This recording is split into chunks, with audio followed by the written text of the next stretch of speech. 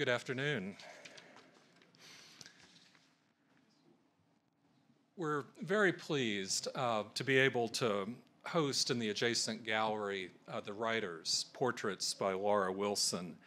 And it's my great pleasure uh, to welcome Laura to the center this afternoon to speak with Chip McGrath about her photography and about this remarkable project. As this audience knows, uh, the Ransom Center holds the personal and professional papers of many of our finest writers. And it's also an institution equally committed to capturing and preserving the visual record of our time. This exhibition combines, in a very satisfying way, two of the Ransom Center's key collecting areas.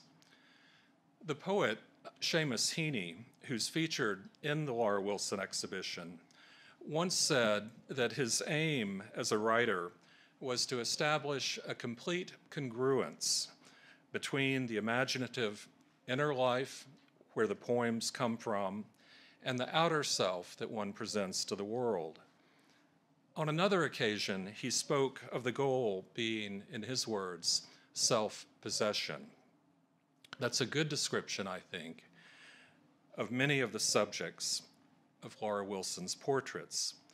Looking at her work, we often sense a synchronicity between the imaginative inner life and the outward life that these portraits convey with such power.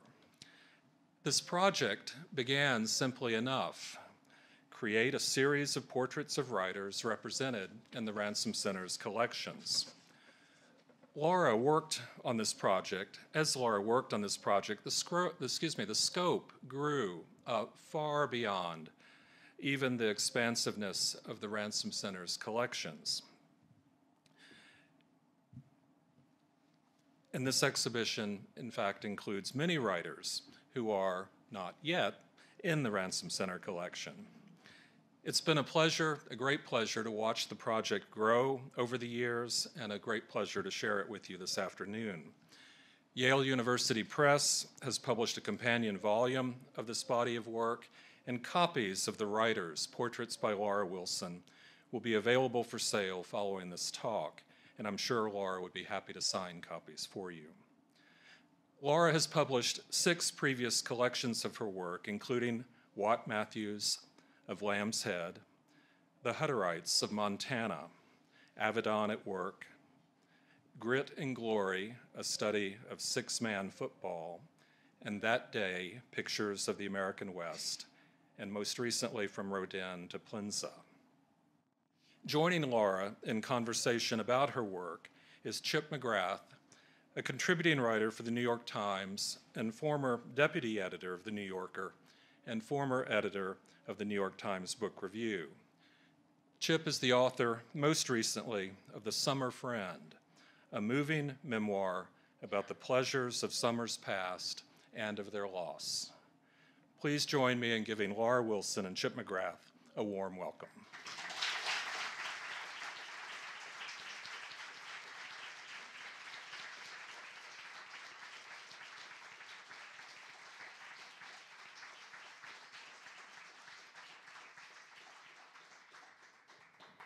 Thank you very much, Steve. I appreciate those kind remarks, and um, thank you all for coming. Uh, we, uh, as I think Steve said, I started this project 12 years ago, and by the time the book was printed in Italy, and we went to Verona to oversee the process and got the prints made, printed, and then framed and down here to the Ransom Center. It feels as though I just finished the project about 12 minutes ago. So I'm awfully glad you're here. This is Sam Shepard, as you can see, and Charles uh, Chip McGrath wrote the foreword, and Louise Erdrich, who won the Pulitzer Prize last year, uh, so wrote an introduction. So I feel so lucky to have had this group of writers and these two people involved in the project. I feel it's been like a grand slam. Louise Erdrich here on the back porch of her Victorian house in Minneapolis, Minnesota. She's part Native American from the Chippewa tribe, and she has a wonderful independent bookstore that she owns and operates in Minneapolis, just a block or two from her house. And uh, here, a native man has come in and is showing her his book of poetry, which she listened very attentively to him and um, showed great interest in his work. Just as my assistant and I were leaving the uh, Louise's house, her neighbor came over, Jim Martin, and he had a watering can that he had repaired for her. And uh, so he was returning it to her that morning, and I, they both looked, though they were enjoying each other. And I said, "Well, let, just a minute, let me take your picture before, um, before you, before we leave."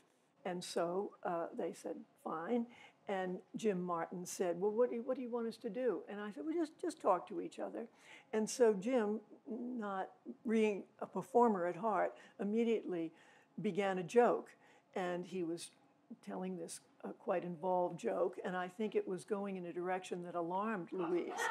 and uh, I wasn't really paying attention. I was worrying about f stops and shutter speeds, but Louise was having the burden of this joke going in a direction that made her nervous.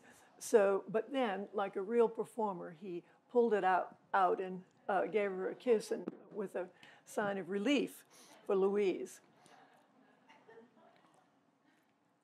David McCullough is the only writer that I knew uh, before I began the project. He was a close friend of our families, and he lives, uh, or he lived in West Tisbury on Martha's Vineyard. And he worked every day in a tiny house that was just eight feet, a shack really, a shed, I should say, not a shack. Um, and it was, and it still is, eight feet by 10 feet. And he worked on a Royal typewriter, as you can see here. And when he was writing, he would face south. And when he was thinking, he'd face north. And this is the, um, the shed, and, uh, which he called his office. And they, he and his wife had bought an acre of land in West Tisbury and their old house was at the front of the acre. And when David moved this shed, he moved it to the very, very back of the property, right up against that fence line, which you can see there. And the reason he did was because he wanted to be as far away from, as possible from the hoopla of a family of five little children in and out of the house and school every day. David was a terrific person, as you can see here, and he really, when Truman hit the bestseller list and he won the Pulitzer Prize and the National Book Award, we gave a party for him, and he came to visit us and came with Rosalie, that's his wife on the right, and my husband, former husband, Bob, on the left. What I discovered, uh, even though uh, after, after getting to know so many writers with this project, is that they're just, they aren't one dimensional at all. And David, for instance, was a very good painter. He really uh, superior watercolorist, and he could sing and dance. And at the drop of a hat, he'd like nothing better, especially if he was with Al Simpson, uh, the Wyoming senator they both together liked nothing better than singing that great Hank Williams song, Hey Good Lookin', What You Got Cookin'. Carlos Fuentes in Mexico City. This is the great uh, Metropolitan Cathedral, where, which is the oldest uh, and the largest cathedral in the Western Hemisphere.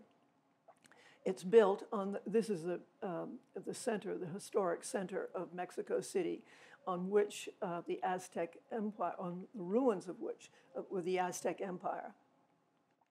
Carlos, his most favorite part of the city was a plaza, the Sa Plaza de Santo Domingo, which some of you may know, which is just three blocks um, beyond the center, the historic center. He was very recognizable, uh, very elegant looking, white hair. He had been on TV a lot because he spoke about cultural things, and he was a great ambassador for Latin America. He was, in fact, a diplomat to France for many years, and he was uh, besieged by kids in the street when, when I was with him photographing him, and he was so nice to them talked for many minutes to them. And at one point, a worker, a construction worker, had ran over to him while he was talking to his kids and said, Would you please sign this. And it was the Bible. And so he was a bit taken aback, and he, but uh, in the, the nice way he was, he put it on the uh, hood of a truck and began to sign his name. And as he began to sign it, he looked at me and he sort of smiled and said, Should I really be doing this? Uh, I'll show you these next two pictures because I think it will give you an idea of what I think is important in a portrait. Here, Carlos Fuentes, elegant, um, tall, uh, very appealing, handsome, famously handsome. But this, he, and he had led a very charmed life, both as a writer and a diplomat, and beloved by the Mexican uh, people. But he had also had great tragedy in his life his two, uh, two of his children were killed at a, uh, at a very young age. And I think uh, Cartier-Bresson talks about this, the decisive moment. And I was changing film when I was photographing him in the previous way he was standing in the previous pictures. And I wasn't, I didn't really think I was getting anything. A- anyone could have gotten that picture of him. Uh, but as I was bent over my camera changing the film, I looked up and it really was the decisive moment. I saw on his face everything that said about his life, uh, about the tragedy and the heartbreak that he had experienced in life. And um, it, he actually died uh, two weeks after this, uh, we did these pictures. Margaret Atwood in Toronto. Um, she's an incredible force. Uh, as you know, she has been wildly successful. This is a uh, bookcases in her house, in her basement, 25 feet long and six feet high. Every single book on the shelf is, is, a, is by her. It's in a different language or a different edition, but every book is something is her book.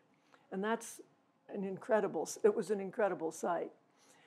She wasn't exactly friendly to us when we, my assistant Andrew Mitchell and I arrived, and we were told to stay outside, um, even though it was a kind of chilly March day. Uh, and but she was to meet us. She said, "I'll be out. I'll come out in the garden." She called this a garden. I, I didn't quite see it as a garden. I mean, it, anyway, she came out of the house and didn't so much as say, hello, how are you, and yelled, you're standing on the ferns. So I look down and I'm on flagstones that you can see right there. And Andy looks down and he's at the edge of the fence and he said, no, no I'm, I'm on the ground.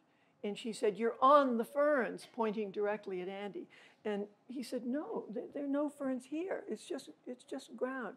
And she said, in the most exasperated way, They're under the ground and so then when I began photographing her, um, actually it's that little shed uh, right closest to, to the viewer where she, um, where I asked her to sit. So the, the light was lovely. And I uh, was again adjusting the camera and, and getting things right. And I heard in this soft voice, but loud enough for both Andy and me to hear, you have your agenda I have my agenda, and the ferns have their agenda. and I, I thought that is fantastic. It's like a, it's a real story. No wonder she has 25 feet of books in her house. but she was, uh, she, I won't, won't say she was warm, but she was very cooperative and she knew exactly what uh, I needed when I told her I didn't want just a picture of her sitting at her desk writing. So she said, Well, I garden. And so, you know, these amazing pictures of her mulching and um, lifting this huge boulder. She's making a fountain in her backyard. So I was very grateful to her, and she, um, she was terrific. So I'll, I'll, ask Chip to come out now, and maybe we can um, talk.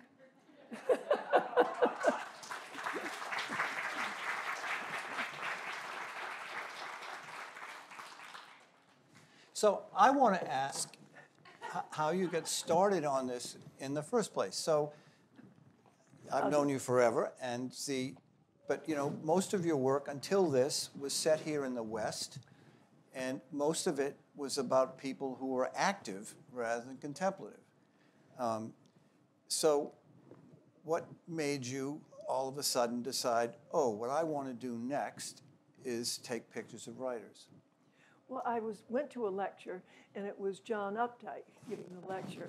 And um, after the lecture, someone said, "Well, you stand together," and it seemed very awkward to me, and I think to him too. But he was very graceful and and nice about it. And he said, mm, mm, "Come here." And so, as I was standing next to him, and people were talking to him, I thought, "What a um, what an unusual person he is. He, he seemed, and I thought, gosh, I'd love to do a portrait of him. And I knew that Chip knew him, and I thought, well, perhaps I could um, ask Chip if he would speak on my behalf, and I might be able to do a portrait of him. And so, uh, and then I also had in my mind some terrific pictures that were taken in 1962 by the very good photographer Dennis Stock. And they were pictures of Updike as a younger man, but dressed in street clothes. And he was um, at the edge of the ocean in Ipswich, Massachusetts, and he was playing that child's game where you go out to the as the water's breaking, you go out, go out, go out, and then you jump back, keeping your head eh, facing the water. You go back as fast as you can so you won't get your street clothes all wet. And uh, so there were pictures of him doing that. It was like stills from a home movie of a famous grown up playing a child's game by the sea. And I thought they were wonderful. So I thought, well, if he has that kind of spirit, maybe he would um, be agreeable to being photographed. So that's sort of what began uh, in my mind. Uh, I was thinking of that. But then I dithered around and didn't get to it. And, and he died. And so uh, I thought, I just really have to get going. And, he, and he was, he, he's, was an exceptional person in many ways. He, he's, one way he's exceptional was he's one of the very few writers I know who actually did, liked having his picture taken. He did like it. he it? did like, he enjoyed it. Uh-huh. And, and he also, uh, he took great care about how his uh, pictures appeared on his book. So today, my wife and I got a wonderful tour of the, of the part of the archive, and, and there's, the, there's a lot of correspondence between Updike and Knopf, his publisher.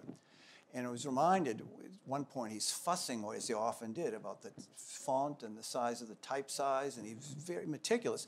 And he also cared a lot about the images, and, and I think in particular of when every few years he would publish one of these big compendiums, not a novel, um, but a collection of his nonfiction, and the, the, the cover was always a portrait. And so one year the book was called Hugging the Shore, and it was Updike in a dinghy. And, and another year it was picked up pieces, and it was Updike holding a bird's nest. And um, so it's too bad. I wish you, I, you would have you would have got along. But, but you've also said that part of what motivated you was your unhappiness with book jacket photos, the way so many yes. authors look in the back of their books. So why? Well, I'll show you. Well, first of all, I never thought you could really see the person. They were often taken by, uh, you know, a, a, a, husband or a wife who maybe wasn't, didn't really know about photography. They weren't done by a first-rate photographer, a portrait photographer, and I always felt that they slighted the, the writer, and uh, I felt that I could do better. and so Colm Tóibín. And uh, the reason I like this picture, and he actually used it on uh, one of his recent books, uh, is because, well, first of all, he has a monumental head. And he's looking directly into the camera, and there's no, it's no nonsense. It's a, it's a, a real, uh, a strong um, engagement with the viewer, and I think that that's why would you want to uh, look at a picture where the person's looking away. I mean, you don't want to talk to a person when they're looking away. Uh, and so I think, first of all, uh, the portrait, the writer should be looking directly at the camera. For instance, in this picture of Richard Ford, where he, of course, he's very handsome, but these amazing eyes, uh, which make him very striking looking. And he used this on the dust jacket of, of um, a book that he did, Canada and uh, so I, I feel that the writers deserve a good portrait. And I think part of what makes a good portrait is the subject looking directly at the camera, not necessarily smiling, not with a hand up to the chin. Well, yeah, that's the, the, the, you know, it, it's not entirely true that the photos are taken by husbands and wives. You know, there, there are several very good photographers, Nancy Crampton and Jill Krementz, who, who mm-hmm. have done very good work. And, but the, the book jacket photo has become a kind of art form into itself. And I think, and it's a marketing tool.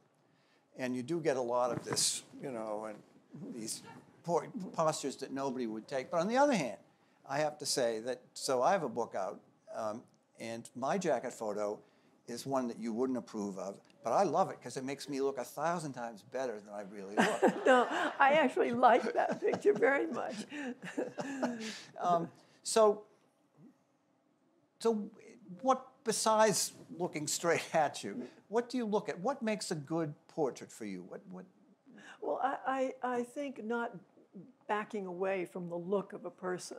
Um, so, and uh, a kind of, um, uh, I, I think the straightforward as much as anything.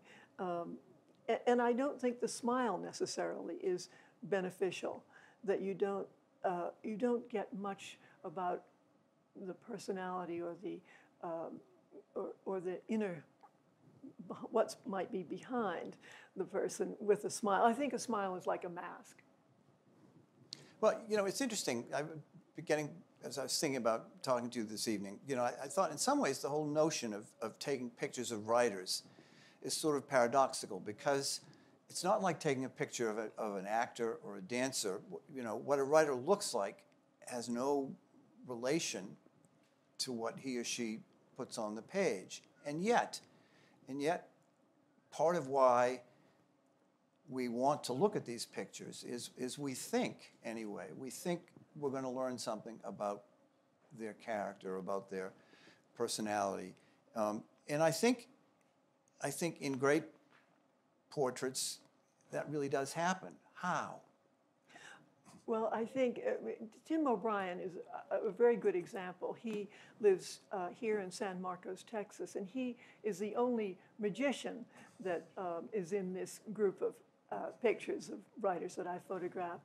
But he, for his own um, sense of pleasure and for his family, he does magic tricks. And he, he says magic for him is um, like fiction writing, it's a form of an illusion. And so he, he was such a, a warm, um, kind person in giving me t- the time to photograph, photographing his children, his wife. But uh, I said uh, to him after a day, uh, May I do a portrait of you? And without me saying one word, this is what he faced when he faced the camera. So here, the person who is interested in magic and loves his small children has fun with his children, he can he has the sensitivity and the emotional um, can, to reach within himself. And this is a real portrait. And I didn't ask him to look this way. I mean, this is a person who's seen the brutality and the savagery of war.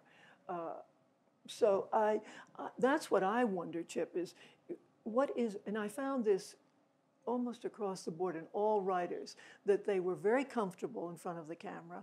They were very confident. They never seemed, they never said, oh, I, you know, I, get, I don't. I think, look- I think this, this has, must have a lot to do with you, and I'll get to that later because I don't think everybody has that experience. Um, the, but so the other thing I- I'm curious about is, so I, I was fascinated when I was waiting backstage. You said you use film, um, still.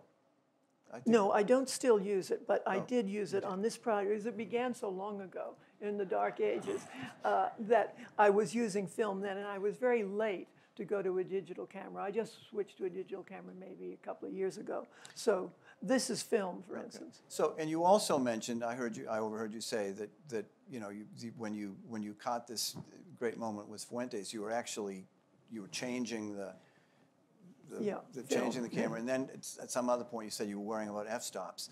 So how much of this is technical? How much is just Yeah. knowing what you're doing? I think that none of it is technical. I don't think it has to do with the lighting. I don't think it has to do with the camera.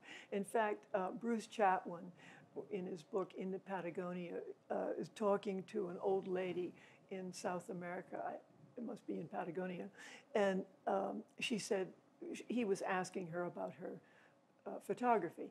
And she said, The camera is such a killjoy. And I really think that, that the camera is a killjoy. And so I think it has to come from the mind and heart of the photographer, uh, that it's the content that matters. Meaning what? I, Meaning, I don't think it matters about the film, uh, the, the film and the, and the shutter speed. uh, Well, I shouldn't say that. You do have to be experienced enough to uh, be comfortable with the equipment, but the equipment isn't going to make the good portrait. Um, the what good, is? the I think it's the person. It, I think it's really the gift of the person, and um, it's not luck. It's not skill. It's um, and it is a kind of a decisive moment that you just.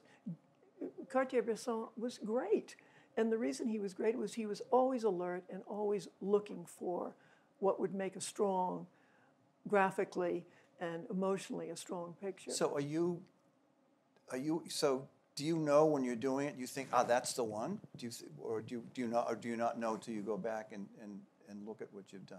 I, I think that um, I'm always surprised.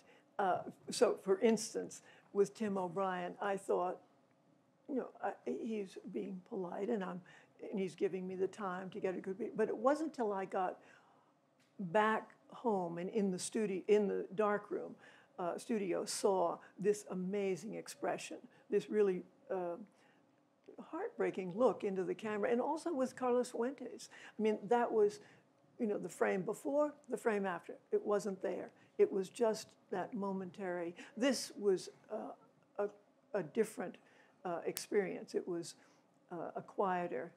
Um, I had more time here. So you just said there's, there's no luck involved, and um, which interests me um, because the one of my favorite portraits in this book is the one of Tom Stoppard, and the and he's someone that's been photographed a jillion times. We think we, he's a very handsome-looking man, and, and we've we've grown up with him. You know, we've watched him age, and the but your photograph of him is, I think, the best I've ever seen, and the but the the uh, the curious thing, as you say in the book, he was, he's the one that you have spent the least time with. You had like 20 minutes, right? It was less than 15 minutes. It was like 12 minutes. So that's got to be But that was a bit. gift from him. Uh, We'll get to that. I'm not sure when. Oh, we'll come to it. Yeah, we'll come to it We'll and come to it we can talk about, because that's, um, so. Uh, Marjane Satrapi um, is a com, is a um, graphic novelist, but she wants to be called a, com- she prefers to call herself a comic novelist. And she's the only comic novelist in the book.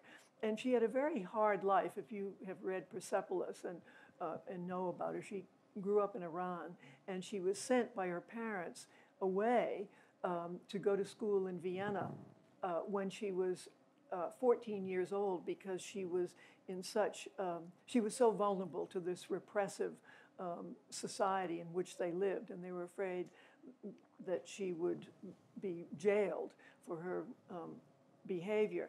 And then she returned, she had a very hard time in Vienna. For four years, she returned to an unhappy marriage in Tehran. And then finally, now, she is in Paris, where she just looks great, I think.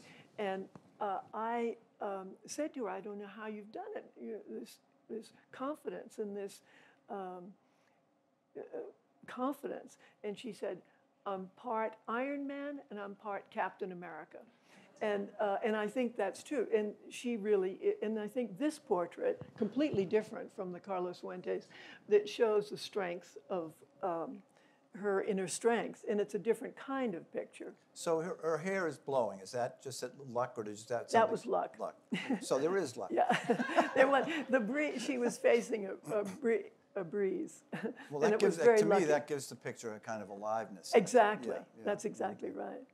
So I want to go back to something else that you said when I was hiding off stage. Um, you talked about sort of the monumentality of some of these, and Colm Tóibín be- being a great example. To my mind, he looks like one of those Easter Island statues, those great monumental. Yeah. And, and I think Annie Proulx looks like a Rodin. And, and, and my, I have to say, my favorite picture maybe in the whole thing is Jim Harrison. I mean, there's so, there are so many miles on that face. That's it's right. astonishing. The, um, and so, I mean, that's obviously that's a, a gift to a photographer. But, but I'm also struck by, as you leaf through this book or walk through the gallery, so many of these people are striking looking. They are, some of them are just plain good looking. Sam Yes. Shepard and Yeah. Richard Ford, and I mean, they- and the, and I'm it just, I'm curious, the, do we think that there is some connection between the writerly vocation and, and being interesting looking, being interesting on the page and interesting in the flesh, or is that just an accident? I think that, that that's a something, a question that I also have, uh, because no matter what the person looked like uh, when I approached him or her, um, some are quite ordinary looking. August Kleinzahler, for instance, you, you, you'd never think, oh gosh, that will be somebody I'd like to photograph. But um, there's something about writers, unlike any other group of people I've photographed, that writers have uh, this ability to reach inside themselves and, and the confidence and the sort of inner dignity to stand in front of the camera and not be self conscious and not be shy. So I don't know what that is, Chip. In fact, uh, I really, it, they all had it. I mean, I didn't have to uh, it's- it's- encourage that. It's fascinating to me because, in my experience, most writers are, well, they're like all of us. They're vain, and their vanity takes the form of pathological shyness and self consciousness. and, the, um, and I'm amazed that you, you got all these people to do it. I mean, I remember you and I had endless phone conversations, and you know, who, who's on the wish list? Who, would, who would we like to get? Blah blah blah, and and that you got so many of these people to do it. How did you do that? It was hard. It was. It took. I mean, so long. And um, well, I'll proceed here and see if. Well, here's Tom There's the Stoppard. stopper, yeah. So Yeah. that photograph to me, th- that says everything, and it, and it, and it, in my mind, though I haven't seen the new play yet, I'm hoping to. This is the new play is the one where he comes to grips with this, this his Jewish past, Yes. which he's sort of half erased for half of his life. Yes. And I think I can see this now, this uh, kind of sadness in this picture. Right. Um, amazing, yeah. I mean, this and this, uh, uh, Chip was referring to the fact that I didn't have very much time with Stoppard. He had been quite cooperative in, in being willing to be photographed, but we weren't able to be, uh, uh, I wasn't able to connect with him until one time he called me and he said, Okay, I've got 15 minutes before I need to get on a flight. And I'm going to be having dinner with my wife and children, and I'm going to be in Covent Garden. I've got 15 minutes. If you want to come and photograph me there, fine. So I rushed over um, to Covent Garden, and it was teeming with people. I mean, people everywhere. And there was no way I could have him stand in the, in the street. So I thought, oh, the restaurant where he's going to have dinner, that's where I'll. So we walked in there, and it seemed perfect. And so I said, oh, Mr. Stoppard, I've, when he arrived, I said, I've found the perfect spot for you. And, and he said, no, no, I'm, I'm not going to be photographed in there with people. I would disturb everyone's dinner. No, I can't do that. So then I thought, yikes, already it was eight minutes were used up. And so, um, so I was very worried. And I knew how lucky I was to even have the opportunity to photograph him. So it was a lot of pressure. And we happened to find just a, a, a colonnade under which he's standing. And this late, lovely, late English light um, was coming in on his face. And uh, he said, Okay, uh, what do you want? You want me smiling or do you want me serious? What, what do you want? And I said, and I looked into the camera and I couldn't, I mean, it was exactly an incredible look. And with, you know, one or two frames, that was it.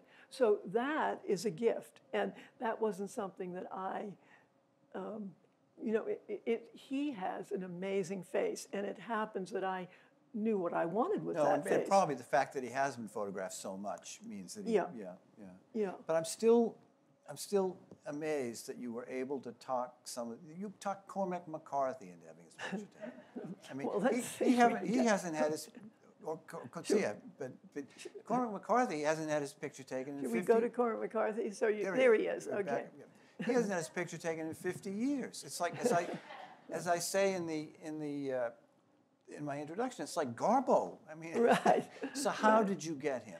he was very hard uh, to get. I, I wrote to him. I knew where he, I had his address. He was at the Santa Fe Institute, and so I wrote there and sent him a book and nothing. So I thought, oh, well, maybe he was traveling. He didn't get it. So I write a second letter, another book, send it to him, nothing. So then I spoke to a friend of mine who said he was a friend of Cormac McCarthy's. He said he would speak to him, nothing. So I thought, well, he can't be that good a friend because, it, anyway. Um, and then I spoke to his agent, um, Amanda. Binky, Binky Urban. Yes, yeah. And who t- tell about her a bit about her. Well, She- she's she's my agent, so I'm prejudiced. I think she's the best, and she she represents, with the exception of me, the good people, and um, the and she's been very loyal to Cormac, and and so I've been trying. I've been for years. I've been wanting to write about Cormac, and she's tried. She has tried to put the two of us together, and she's failed. So I'm just amazed. So she- here's what happened. So um, I found out because I have a, a good friend, the man on the left over there with the dark glasses is a friend of mine. His name is James Drake, and he's an artist. He lives in Santa Fe. And he told me he was very close to Cormac McCarthy, that they would have lunch together, they would have breakfast together. And Cormac McCarthy had two friends, James Drake and the other person, David Krakauer, who's the head of the Santa Fe Institute, a young uh, astrophysicist.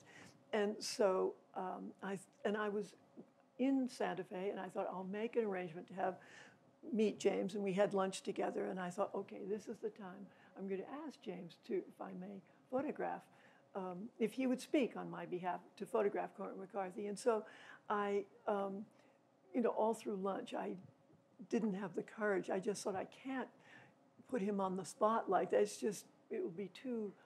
Um, it'll be so mortifying for him to have to say to go to. Well, he probably wouldn't go to Cormac McCarthy. He'd just say no to me. So I didn't ask him, and uh, I was in a, in a funk later that afternoon in a little coffee shop, and in came David Krakauer, and who I also know. And David said, "What are you up to?" And I said, "Well, I'm just, you know, feeling despondent. I had lunch with a very good friend, a close friend of Cormac McCarthy's, and the one opportunity I have to actually photograph him, I don't have the courage to say, "Will you do do me this favor?" And he said, "Well, who, who's the friend?" Uh, I'm a friend of Cormac McCarthy, and uh, he said, "I'm having lunch with him on Thursday. I'll ask him for you." So he did.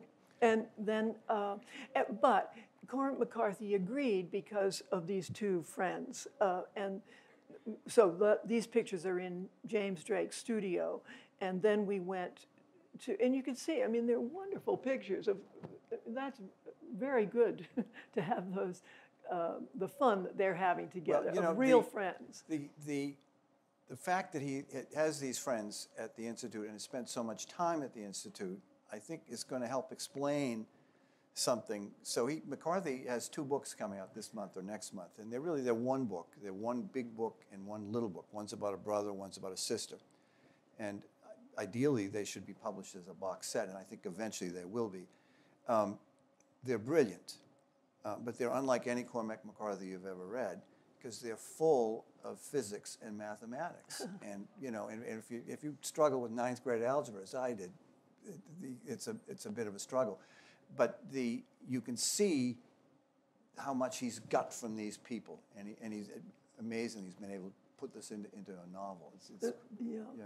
it's- Here he is in the library, which he gave this library to the uh, Institute. And so the three of them visiting, and, and you can see how comfortable he is and how much he enjoys being with them. So how much this it has to have helped a kind of critical mass. I mean, at a certain point, were you able to to say, were you trying to get a writer to agree? You're able to say, well, look, I've got Garcia Marquez, I've got Carlos Fuentes. Don't you want to be on this team? Yeah, Did that yeah. ever? Did Yes, that cut some ice with some of definitely, yeah. yeah, yeah. And I always, you know, I- I wrote a very brief letter, um, less than a page, and but I always said who uh, the big writers that I had already. And this is another person Another, was, exactly. But I mean, he's he's not quite as elusive as as um, McCarthy, but he had, you don't see him. You don't see his picture a lot. Right, and this is um, Haruki Murakami, the great Japanese novelist. And uh, when I was writing to his assistant, trying to set something up, uh, it was very difficult because it was exactly when the pandemic was at its height, and he couldn't. I couldn't go into Japan, and he couldn't leave Japan. And so, uh, you know, two years went by of back and forth, and then finally he said, it just he had, there was a brief opening where he could leave Japan, and so he said, "I'm going to um, Honolulu to run a marathon." And so, at 72 years old, he runs. Um, it was he ran a marathon, the Hawaiian marathon, but Honolulu marathon. But he's run 45 marathons. He's amazing, and I didn't know what he looked like. Uh, and we were to meet in a kind of uh, a public um, kind of shopping area and I thought, gosh, I, I don't want to be kind of l- looking around to try and find who, who, who he is. And, but this man walked around a building and he had such a youthful, energetic walk and such a, uh, uh, such a bright expression on his face. I knew it was Murakami, yeah. not knowing at all what he looked like. And it was he.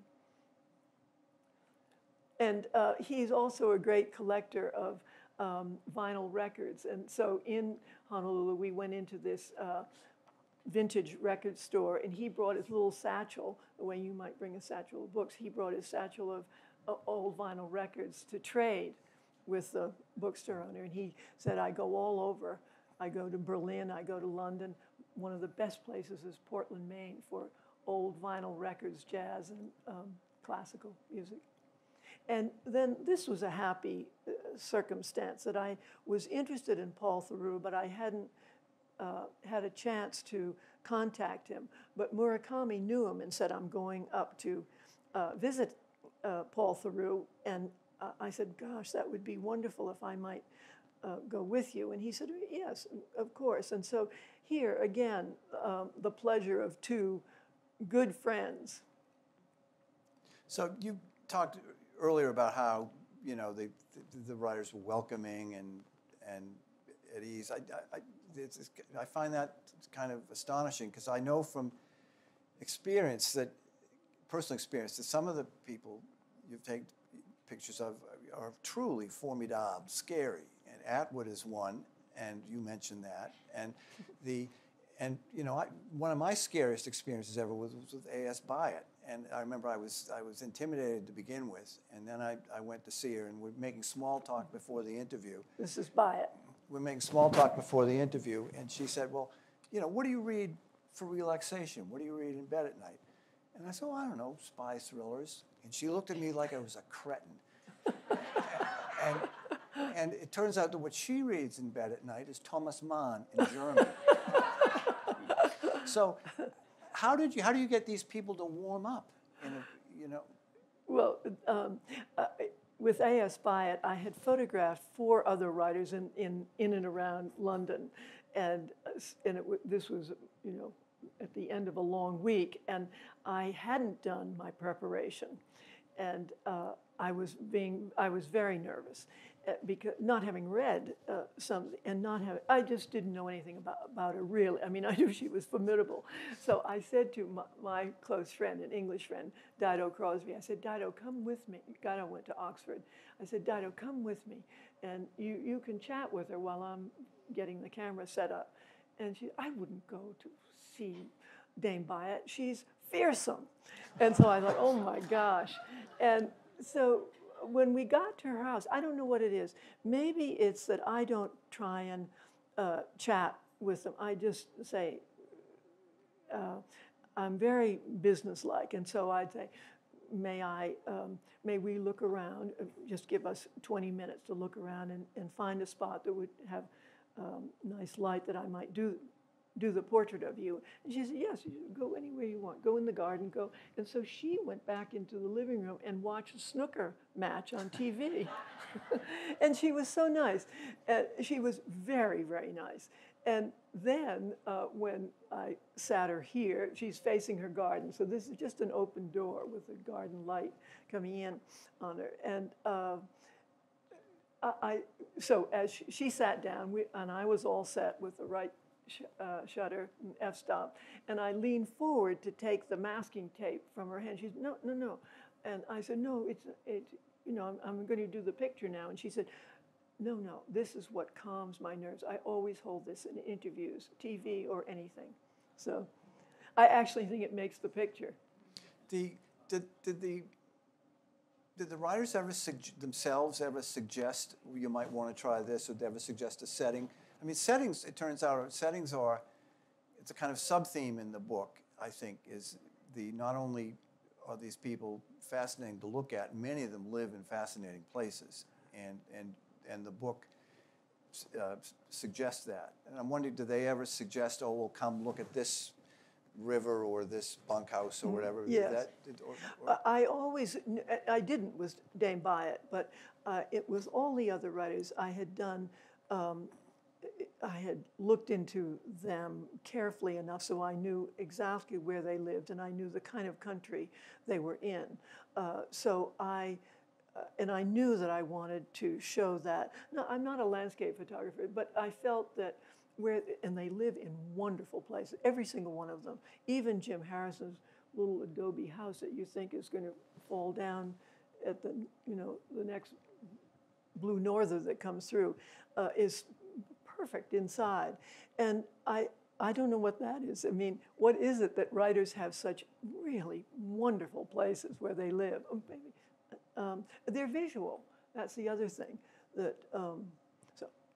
Uh, so setting, for instance, this is Edwidge Danticat in Miami, and with palm, uh, wonderful, huge, I don't know if that's bananas or palms, but in front of her house.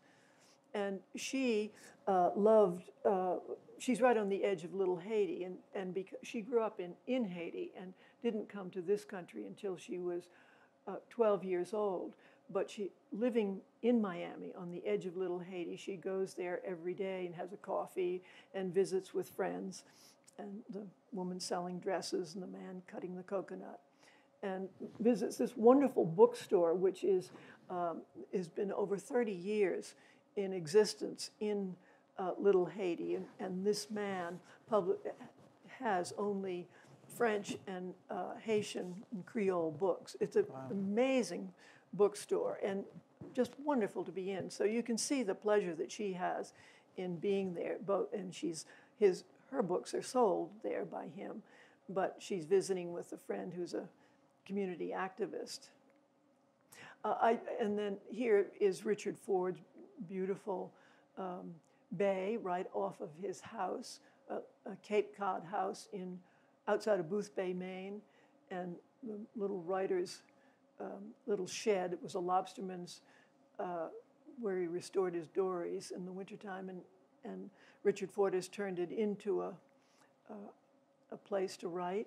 It's interesting, you know, because Richard, for most of his life, was peripatetic. He, he couldn't settle down anywhere. He lived in he lived in Mississippi. He lived in Montana. He lived in New Orleans. He lived in New York. He went back. And so, and it's odd that he's finally found a home in Maine, of all places. But, but the picture s- s- suggests to me that he really is. This is his place now. Yes, I mean, he's was here, I think, for 20 years. But when I said that uh, we wanted to send him a book, and what's his current address? Billings, Montana. Oh, there, there you go. And I said, what about your beautiful house in Maine? Sold it. I said, See, there, that's Richard. There, that's wow. Mm-hmm. Wow. I couldn't believe that he sold it.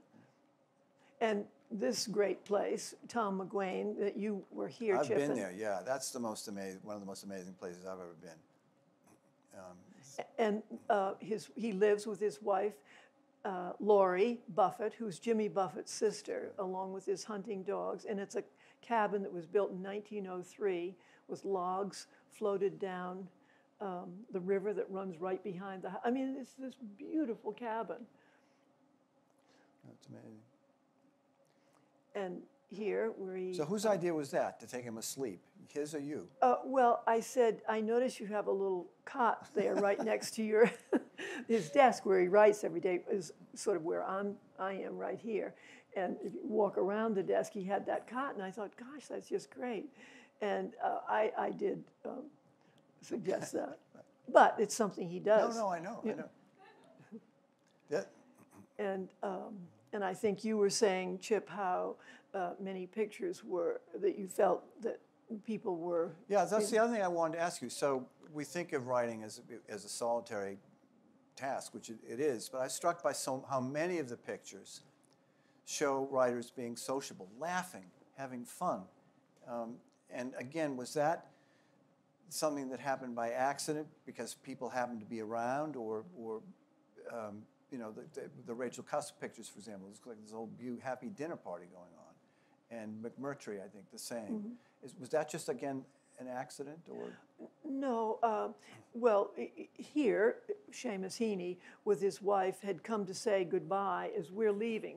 He was high on steps, his doorway in Dublin, and so we had walked down the steps and we look. I looked back they had both come to the door to say goodbye, and they looked so happy and so great. I said, "Oh, may I take a picture?"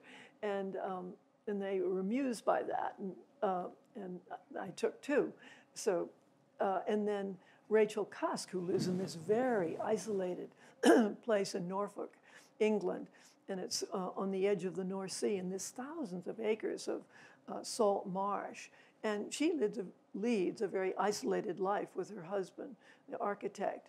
Um, and they're really essentially home buddies, but a couple of times a week they go into uh, this, uh, the Red Lion pub in Stiffkey and visit. And so I, I think you've uh, said to me, Chip, that um, writers are fun. I mean, they are they're, fun? They are fun when they're not being, you know, gloomy. Yeah. they're- but they're good conversationalists. yes, they are. A- and they have great sense of humor. Yeah, they are funny. Even the ones who aren't funny are funny. so the um, we want to leave a little time for questions. So I'm going to ask you uh, two last questions. One, if you're willing to say, did you have do you have any favorites a- among these? Well, oh yes, I ch- I'll show you my one of my favorite pictures. So this is Tobias Wolff, very, um, very correct, a lovely man. He's um, he had a, quite an outlandish father. Have you read The Duke of Deception? Of course, yeah. uh, which uh, his brother wrote about the father who was a schemer and a liar and a cheat and uh, just the worst, would seem to me the worst kind of father. And yet he has these two terrific sons. One is the head of writing at um, Stanford and the other at uh, Berkeley. In any case, Tobias Wolff is a lovely person. And, um, but I was trying to, he, he, he was quite, um, well, I couldn't seem to break through. I mean, I, walking with his dog, yes, that's fine. But in suburban uh, Stanford or sitting at the piano, yes. But nothing, I really couldn't, I had to get a, something better. So I said, what do you do? What other things do you do? Well, I, I swim every day. He was very, I said, I'm hesitant to say that. And I said, that's exactly, exactly what I want. So here, that's a pretty good picture of a writer. And uh, I felt very lucky to get that. And it was a surprise, uh, number one, that he was willing to let me do it. And number two, uh, when I got back out of the darkroom, I mean, I, I, it looked good when I was standing on the edge of the diving board looking down, but it looked even better uh, when you see a print because of the strength, the graphic strength Yeah. of it. So my last question is: You began by saying that you wished you had been able to take Updike. Who else do you wish? Who else did you not get that you wish were in I would movie? love to get, and this is your assignment, Chip. when we leave here, I'd love to photograph Alice Munro. That's not going to happen. I, that's what you said about Cormac McCarthy. Well, that's what well, you no, said no, about. Alice. No, no, no. Alice is in uh, is in assisted care, and I think and I think her daughter would not allow it. Mm-hmm. She's not in good shape. It's too bad. It would have been wonderful. Yeah. The I I I visited her about ten years ago, and you would have loved it, and would have been great. Uh, pictures. So she lives in this t- in Clinton, Ontario, middle of nowhere. Lives in this tiny bungalow, or lived, down by the railroad tracks, and the and the house inside the house the she was married her second husband was this guy was a big deal canadian geographer he was head of the canadian atlas so he had this great big study with a giant globe and maps on the wall and alice wrote at the dining room table with a window overlooking the driveway It was- Wow, wow. But the, but the backyard, the, the, the, the geographer husband was also this kind of wacky amateur sculptor. So there was things like b- bathtubs painted to look like Holstein cows. And, you would, you would have, you would have a field day. That's funny. The one I miss, um, and it's, it's, it's instructive, I think, is, is Philip Roth. And so Philip and I were friendly, and I persuaded Philip to agree to let Laura take his picture. And, um, and then, you know, between us, we let too much time go by. And then, and then when it, ha- it happened, so when Philip gave what amounted to his, his last interview ever, so he, he did this with me, and there was a lot of backing and forthing about this interview. And so Philip insisted that uh, he had to see the questions in advance. This isn't against Times policy. I, he was worried, needlessly so, that he, about he, he keeping his focus and not going off track. So the Times said, well, okay, we'll agree to that. But they wouldn't agree to his other condition. His other condition was if there had to be photographs, they needed to be taken by Nancy Crampton. His, And Times wouldn't agree to that. The, the photo desk was much more adamant than the editorial desk. And so they hired some freelancer, I whose name I've forgotten. And I don't know if you remember, the pictures were god awful. They were dark and mm-hmm. pretentious and artsy and just the worst. And so, so you know, after a couple of weeks, I called Philip up and reminded him that he had agreed to let you do it. And he said, if I had to do that again, it would kill me. Mm-hmm. And so I, that tells me something that he did not have the Laura Wilson experience. That's very nice of you, Chip. So on that note, um, if there are any questions, um, I'm sure Laura would be happy to answer them, Or Chip. or me. He, Chip has interviewed so many, Right, of- right, and right, wonderful interviews with so there, many right. writers.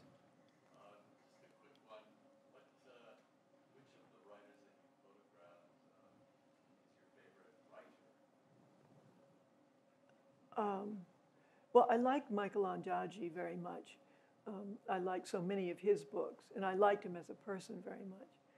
So, um, but so many of them I liked. I mean, um, so I can't say I have one favorite.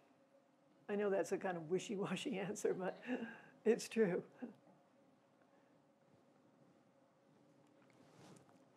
Back there.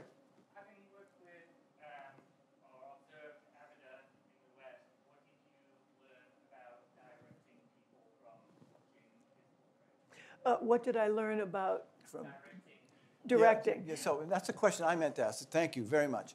So, so what do you do that's different from Avedon? What did you learn from him, and what do you do that's different? I learned a lot from him. I learned, again, this thing that I keep saying it's not about F, F stops and shutter speeds. It's really about looking. And it's, and it's really about being interested in people and being curious and open and ready. Uh, so, and also, I know what an interesting face is, and I don't know where that comes from. I mean, I was thinking um, before we got together that I had done a, um, I was an art student and I had done a self portrait, and it kind of looked like an Avedon, which is unusual for a young person to do something that would be kind of uh, grim. Uh, but I think that um, I'm not, I, I have in my mind what I want. Um, and I think uh, I learned, and that, and also uh, that's something that was within me, and it was heightened by being uh, with Richard Avedon. So the things that I thought uh, kind of naturally were um, amplified by working with him, and then I, of course, learned so much more. I mean, he used to say a great thing.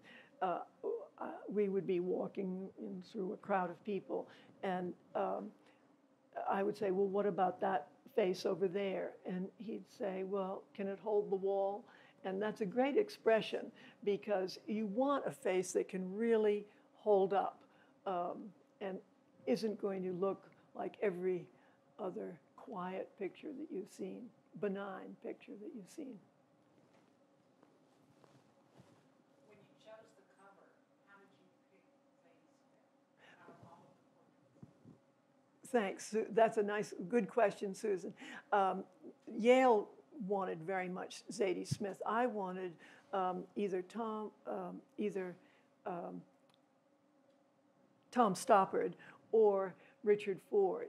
And they said, um, no, we think, they urged me to have uh, a woman, and they urged me to have A young person. yeah, a young No person. old- no yeah. old white guys. No old white guys. And they even use that, I I'm sorry to say, they even use that uh, term, no old white guys. And in one, um, in fact, Deb Garrison, who's a friend of yours, Chip, is she an, uh, an editor or a agent or an No, agent? she's an editor. She's an editor at, at Knopf Pantheon. you know, she's a wonderful person, and uh, she said, if you choose, um, I'm telling you sort of things that I hope are, uh, don't. Anyway, she said, if you choose Richard Ford, it will reflect badly on you, meaning I'm not, um, I'm not au courant enough to realize that it's shifted, and um, so that's why Zadie Smith But it also happens to be a great picture. Well, yeah, she has a great face, doesn't she? And she had a good look into the camera. Um, there's a picture of her in color in the exhibition, which you might enjoy seeing, where she has a, a kind of wry smile on her face. I think the cover picture is it, it, it is a stronger picture, and it's more I don't know about arresting that word, but uh, it, it it will hold the wall. Where uh, but you also see another side to Zadie Smith, this lovely uh, uh, questioning smile that she has in the, in the color photograph of her.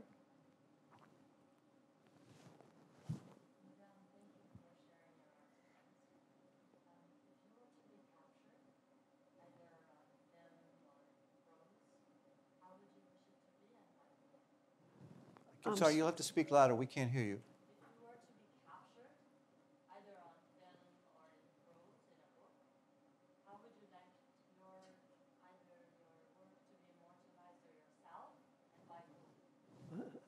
Chip? That's a question for you. I'll take the picture. So, all right, you'll take the picture, I'll write the words. Okay. You said you're very formal, Very what? formal in the shoots. When you're shooting a picture, you use the word formal, very what?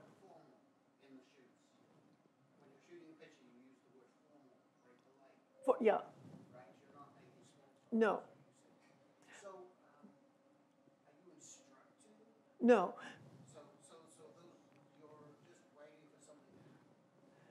No, I, I come in looking, uh, and we begin maybe slowly, uh, but I, I don't, I- I'm not, I don't engage in small talk. I especially don't talk about the book, uh, books that I've read of theirs that they, um,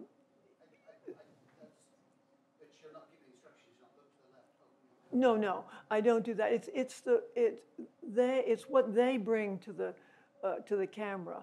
And that's why, uh, in the case of Tom Stoppard, or Tim O'Brien, or Carlos Fuentes, it's the, it's a gift from them that that. But I am, uh, I go with a sense of seriousness, and and and th- I think they respond to that. They know it isn't just a quick little uh, snapshot by a newspaper photographer. Excuse me, Chip.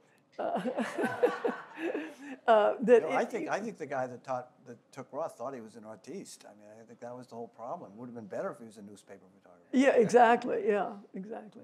So, um, but I never say, you know, look to the left, look to the right. I, I, uh, I but I'm not waiting for it to happen either. I mean, there's the, the other thing is maybe this is another reason writers are so comfortable. They know uh, what makes a story, and so they have a sense of what will make a picture. So even though uh, Tobias Wolff, the last thing in the world he wanted to do was to traipse down to the university pool and be photographed swimming, but he did it. I think he did it because he has a sense of a story. What makes a good story? He knew what would be a good picture, and so that they, um, you know, often they would say, "Well, you might want to photograph here or there, in their environment." I don't know if that answers your question or not, but.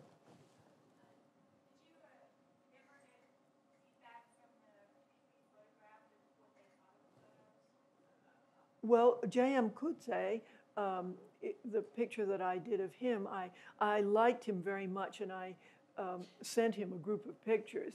And he said, I wish I were smiling. and uh, and I, I, was I was disappointed because I thought he, who had actually been very interested in photography as a young man and took some wonderful pictures at 14 and 15 years old. He's South African, and. Um, I was disappointed that he didn't appreciate his own picture No, I and, think, and think about it. If you know Coetzee work, a smiling Coetzee makes no sense at all. So, exactly, exactly. It seems kind of ironic. Do you think your, s- your competence, your lack of small talk, uh, your business-like approach, if, if I said that right, it is, brings on spontaneity or helps create some spontaneity or relaxed, uh, relaxed atmosphere in your subjects? Uh, well, I think they respond to the seriousness with which they see I'm working, and then they try and cooperate.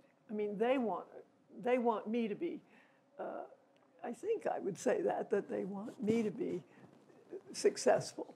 Uh, they want me to get think, what I'm I looking think, for. I think you're being too modest. I think there's something else. That there's something about your personality.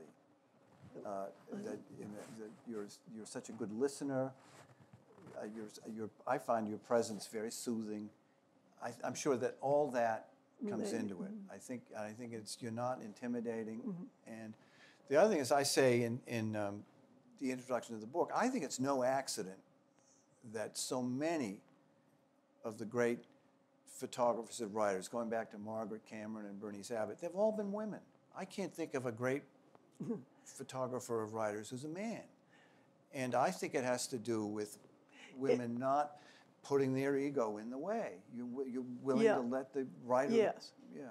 You know, that's very interesting because when I, uh, over a six-year period, when I was working for Richard Avedon and we did, and he did the portraits in the American West, it was, the reason I was there was it was much easier for me as a woman to go up to a man and ask if he would mind, would agree to be photographed. And, and it was much easier as a woman to do it than a man.